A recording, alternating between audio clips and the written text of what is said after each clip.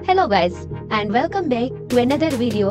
In this video I am going to share with you a number of popular ways to tie a scarf. Here you will get the most attractive idea to wear a scarf. So keep watching and don't forget to support and subscribe my channel. Thank you.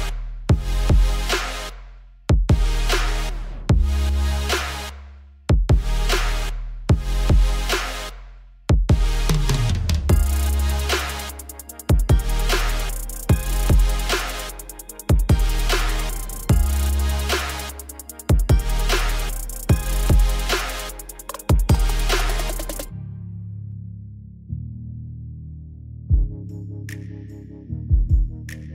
you.